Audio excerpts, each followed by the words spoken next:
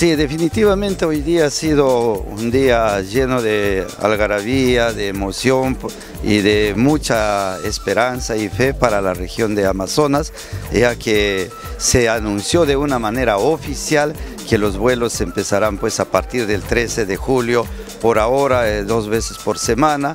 Y yo desde acá hago una invitación tanto al turista nacional e internacional que no duden en visitar a la región de Amazonas, eh, identificado por, por la ciudad de Chachapoyas.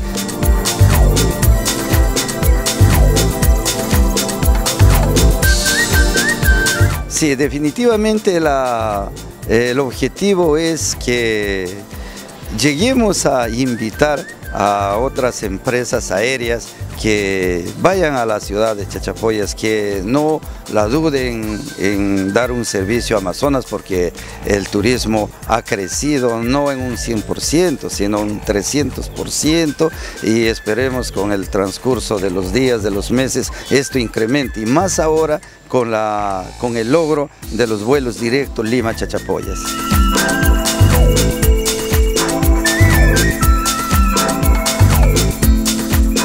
Bueno, eh, estamos muy contentos con el inicio de vuelos Lima-Chachapoyas porque esto va a significar que el destino adquiere una categoría de destinos eh, eh, de, fin de semana. Es decir, el turista va a poder ir, estar dos o tres días y volver rápidamente, que es un fin de semana. Digamos, puede ir un día a Gocta, un día a Cuela, un día a Chachapoyas y volver. Mientras que actualmente por la vía de Tarapoto, por la vía de, Jaén, invierte un día de viaje y un día de retorno, o sea, son dos días menos. Entonces, el directo te abre esa posibilidad y permite el crecimiento. Nuestras estadísticas plantean de que este año debemos estar en 120 mil turistas.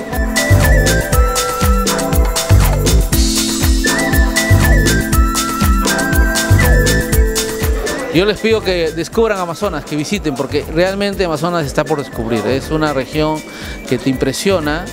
Yo no soy ahí, yo también soy un técnico que ha venido a trabajar cada día me impresiono de los recursos, del potencial turístico que hay. Siempre hay algo nuevo, ¿no? Siempre hay algo nuevo a conocer, la gente es cálida, eh, eh, mantiene valores muy antiguos, tradicionales, el clima es muy bueno, así que descubran Amazonas y descubran la belleza de los Amazonas.